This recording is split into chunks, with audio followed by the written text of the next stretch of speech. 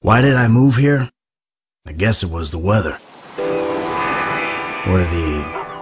ah, I don't know, that thing. That magic.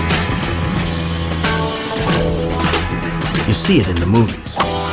I wanted to retire from what I was doing, you know?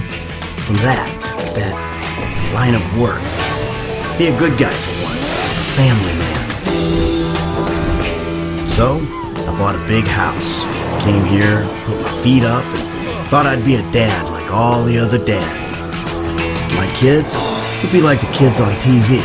We'd play ball and sit in the sun, but, well, you know how it is.